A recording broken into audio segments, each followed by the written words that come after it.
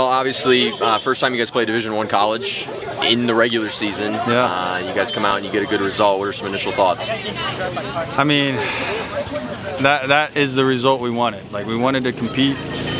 Uh, we wanted to make sure this was close. We thought we could compete. Uh, they, they have tons of quality, so if we could speed up our play and, and stay with them, we knew we could have a potential to win. I thought we could have won that game 10 times over just in the dying minutes and just, uh, you know, it, it was exciting, but you know, we look forward from here with the growth that we just experienced, tying a, D, D1 history program, not just any D1, but one that produces national team players and, and professionals left and right. And uh, we came out and we we grew. Uh, we grew. It, we started small and we ended big, and I love that.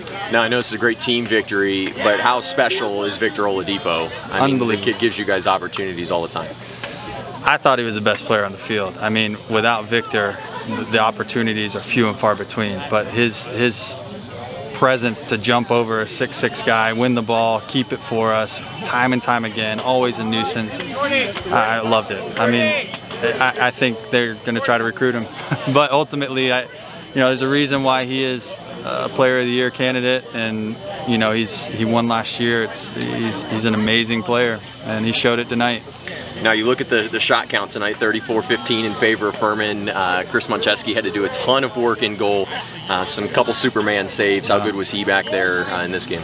another giant. You know, it's it's it takes a team, and and sometimes it's one guy's moment to, to save the team, and sometimes it's one guy's moment to take the team on his shoulders and score a goal. And Chris is consistently done that for us, and and. Uh, He's had some up and down moments this year, and and uh, I think this was him standing on his head again, and you know, uh, I'm super proud, super proud of him. It was huge. Now you guys are 10-2 and 2. Season's starting to wind down. You guys play again Friday. What guys? What can you take from this? Then you know, kind of use that to propel you the rest of the way this year. You know, this was for me. it- I like the timing of the game. Uh, it gave us time to figure out who we were. Um, but you know, I, I kind of put this game apart from the others. We have our game plan for the season, and we're getting right back into that tomorrow. Um, this was just a chance to go have a game against the D1 program, which a lot of guys don't get that opportunity. So, you know, for us, we've grown uh, through this game clearly in the 110 minutes we played, and so we're going to take that momentum and carry forward. I think guys have the confidence now that uh, maybe they some guys were lacking. So, I mean, it's massive. You get into a, a national tournament and you have tight games. These are the things that help you get over those humps, um, and it's an experience that we can't replace. So. Now there was a lot of great moments in 110 minutes, but standing over here on the sideline, is there one right now that particularly stands out to you where you're just like, wow, I'm proud of my guys?